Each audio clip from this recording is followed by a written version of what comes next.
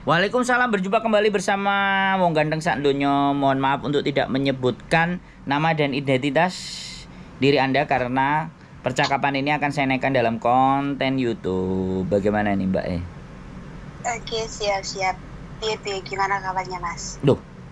Ya saya baik. Ini yang mau dipersoalkan apa? Yang mau ditanyakan bagaimana nih? Enggak kemarin yang waktu itu kan ada temen di komentarnya apa? Eh di live-nya Mas Sandro itu loh yang Mhm. mengenai apa itu? Eh, mengenai apa itu ya? BPJS, iya Mm-mm. kan? Gimana gimana BPJS? BPJS ya itu kan kemarin aku menjelaskan aku eh, gampang kok sekarang untuk proses pembuatan BPJS gitu Mm-mm, loh. mm-mm. Saya cuma membantu untuk menjelaskan kalau sekarang itu kalau ke kantor BPJS-nya langsung kan cuma kita membawa fotokopi KTP, fotokopi KK sama buku tabungan kita gitu. Hmm, sudah sudah sampai jelasin kan? Hmm, hmm, iya sih kemarin di komentar itu sudah saya jelasin di komentar waktu ada live di tempatnya Mas Sandro itu. Kan Gitu, sekarang Mas. Biar nggak nggak nggak susah gitu loh untuk mengurusnya sekarang. Itu pun kartunya itu tidak seperti dulu kita dikasih kan. Sekarang kita itu untuk mengaktifkannya pun harus setelah nih hari ini kita daftar nih. Itu aktifnya nanti 10 hari ke depan kita melalui aplikasi JKN-nya Hmm, gitu. hmm. Baru kita bisa print untuk apa BPJS-nya dan gampang gitu loh. Kita kan disuruh pilih kelas-kelasnya. Kalau aku kan BPJS mandiri nih. Mm-mm. bukan BPJS ketenaga kerjaan gitu. Oh, ya ya ya ya. Mm-mm. Kenapa kemarin kan memang sekarang memang peraturannya harus ada BPJS kan Mm-mm. untuk pergi ke luar negeri itu tapi gampang kok nggak nggak berat nggak nggak ini juga kan tanpa biaya juga kan kalau bikin BPJS itu Iya, makanya dan untuk pakai online kan? Uh-uh. pakai online. Sekarang pakai Iya, online aku bisa kok. langsung dulu iya bisa uh-uh, bisa. Tapi aku langsung ke kantornya nanti setelah itu baru diaktifkan gitu loh mas. Oh. diaktifkan 10 hari setelah apa setelah pembayarannya gitu loh. Kan misalnya hari ini kita daftar pembayarannya nanti ditentukan dari sananya. Setelah kita daftar apa membayar udah kita langsung buka di aplikasinya sudah ada kok. Nama kita yang tercer- tertera dan terdaftar menjadi anggota B- eh, BPJS-nya gitu. Dan kita langsung bisa print kok di situ Hmm. gampang dan untuk pelayanannya pun sekarang ini sudah memang satu pintu gitu ya Mm-mm. Maksudku sudah lebih teratur, lebih terarah dan juga efisien dan pelayanan dari mereka pun ramah-ramah. Kalau menurut aku sih di daerahku gitu. Mm-mm. Tidak mungkin seperti itu yang nganterinya yang gimana sekarang kan dari security-nya, dari mbak atau masnya yang melayani kita tuh ramah-ramah gitu sih mas. Mm-mm. Jadi tidak tidak perlu dipusingkan ya, tidak perlu diributkan. Enggak, enggak. Seperti kayak Enggak ramenya di sosial enggak. media ya. Oh, oh, itu makanya kok kenapa harus ramai padahal kalau kita sudah melaksanakannya apa dan aku juga boleh cerita nggak nih Oh pengalaman boleh. kemarin aku Loh ini saya tunggu, saya tunggu. Cerita-cerita yang kayak gini nih saya seneng. Gimana gimana? Lanjut lanjut. Terus? Kan gini, dulu kan aku eh, mengenai ini loh mengenai biodata yang kemarin juga kan aku juga melihat teman-teman tuh katanya memiliki data ganda Betul gitu kan. betul betul betul. Nah ini aku juga mau menceritakan sendiri dan ada juga yang perlu nanti mungkin aku bertanya ke Mas Sandro karena mungkin Mas Sandro juga punya pengalaman ya dan bisa menjawab pertanyaanku. Siap. Kan dulu Gimana? aku juga ah, pertama kali ke luar negeri itu Mas, bukan aku memberikan dataku yang asli sih gitu Mm-mm. Aku memberikan dataku yang asli tapi karena memang waktu itu umur aku ya muda gitu ya akhirnya dituakan bener kan? Kayak gitu. Siap. banyak lah teman-teman yang memiliki apa masalah yang sama seperti aku gitu.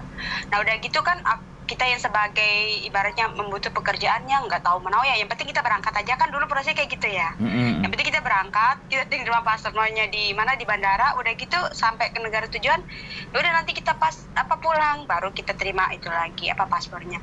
Nah itu pulang udah pulang. Terus sebenarnya aku udah nggak berencana ke sana lagi gitu loh Hmm. mas. Tapi karena kebutuhan ekonomi juga kan tahu di Indonesia kayak gimana. Yes.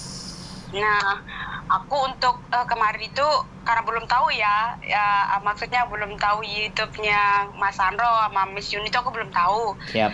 Nah, habis itu kemarin aku kan pernah cerita tuh kalau mau pindah di waktu ditipu kemarin itu, Mas. Hmm. Nah, itu kan aku harus menggunakan data yang asli kan? Mm-mm. Data yang asli yang aku udah data yang dulu dipasuk yang di aku ngasih data yang asli dulu tuh tapi di paspor aku itu kok ada penambahan gitu loh penambahan nama gitu loh mas Mm, mm, sedangkan mm. di data asliku itu tidak ada nah kemarin akhirnya aku menyamakan yang untuk ke Korea itu mena- menyamakan dataku seperti data yang asli gitu kan Hmm, hmm, aku hmm. memil- mm, memiliki paspor yang baru gitu loh mas Betul. memiliki paspor yang baru kan dengan data yang asli.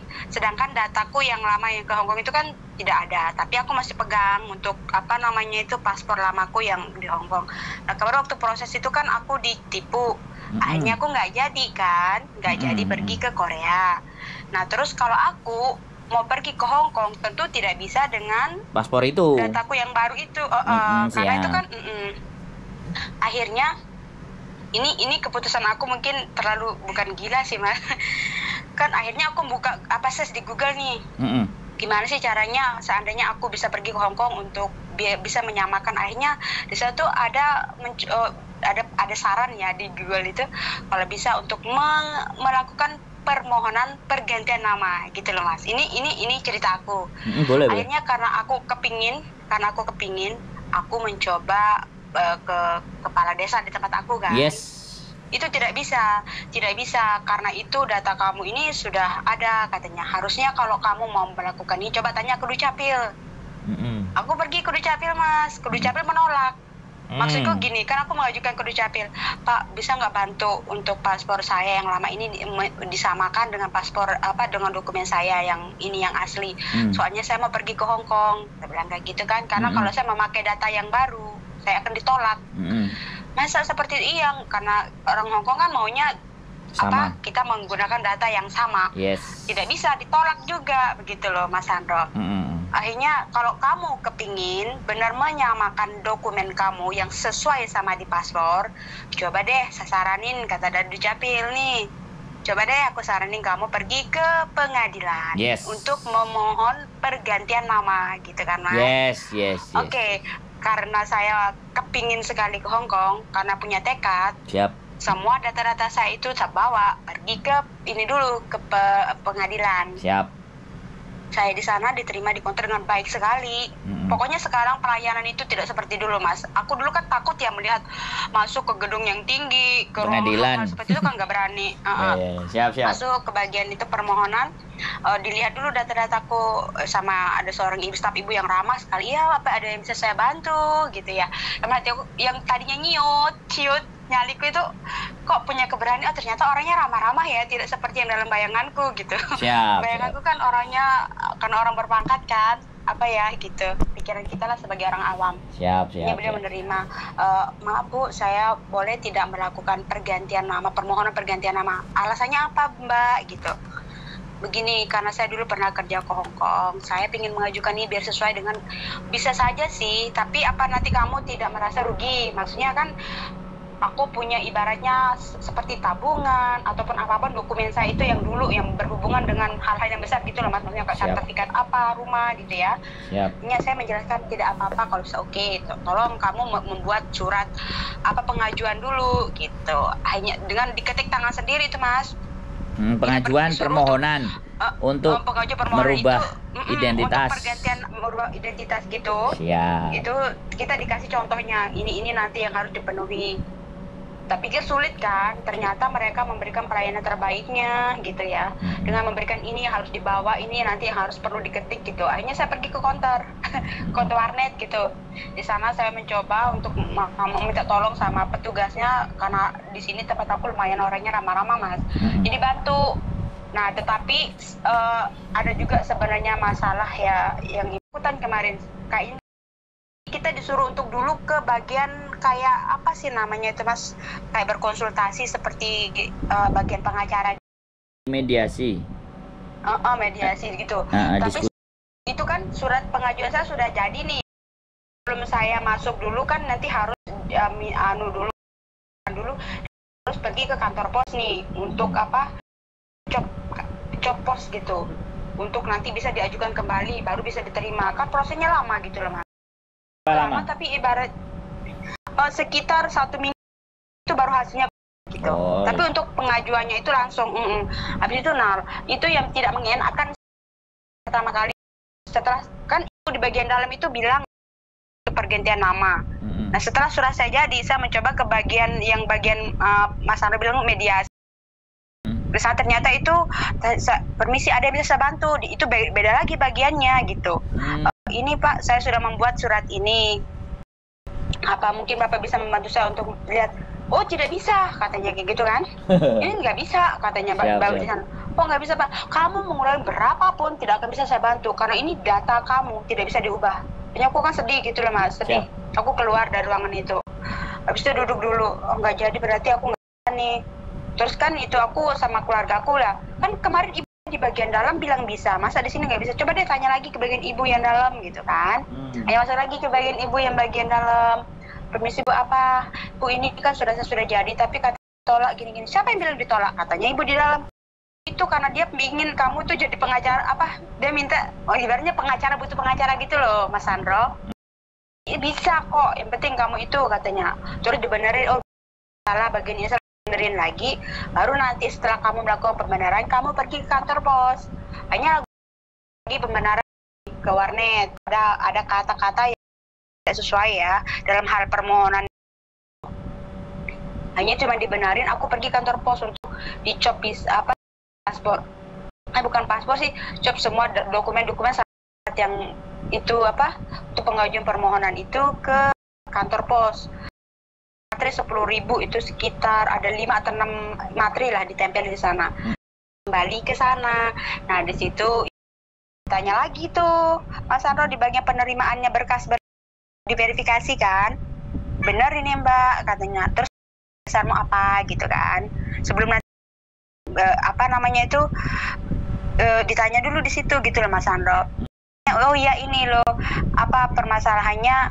Alasan saya kemarin kena tipu kalau saya kerja di sini saya tidak bisa bayar. Terus akhirnya KTP juga diambil gitu. Maksudnya sebagai bukti gitu loh sama paspor Ah, gitu ya tak kasih tunjuk ini paspor lama saya harus sama sesuai ini bu. Hanya beliau mungkin konsultasi sama bapak kepala pengadilan ya sebelum saya disidang gitu oh besok ya sudah. Caranya gitu itu juga secara online sekarang gitu loh mas Sandro Hmm. secara online juga gitu.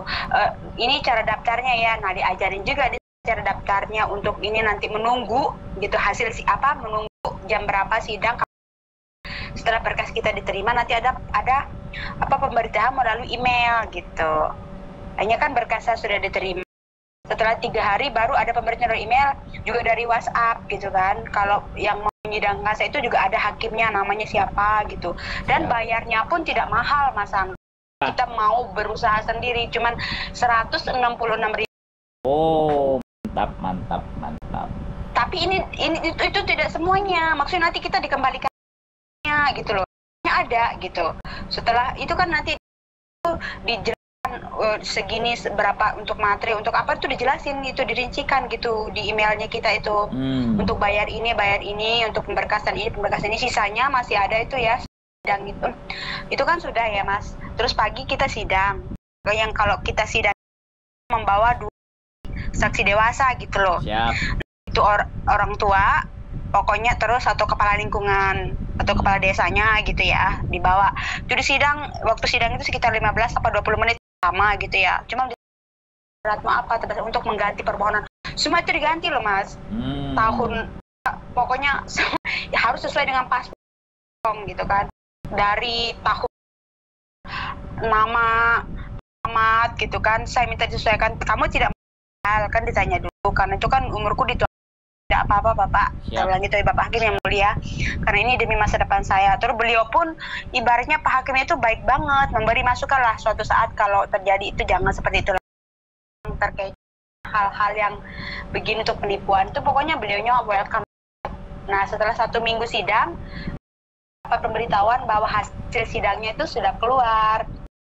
Melalui email juga gitu loh terus melakukan pembayaran itu cuman murah banget untuk pembayaran apa ya penebusan apa hasilnya itu loh mas Mm-mm. kalau nggak salah itu ada tiga belas ribu atau berapa gitu itu pun kita setornya itu melalui bank BTN ataupun bank keliling itu yang kadang-kadang mak ngetep ya di setiap apa kantor gitu ada kan bank kelilingnya itu nanti Siap. kita itu sebagai eh, kalau itu sudah kita nanti itu hasilnya itu sudah bisa keluar bisa kita print.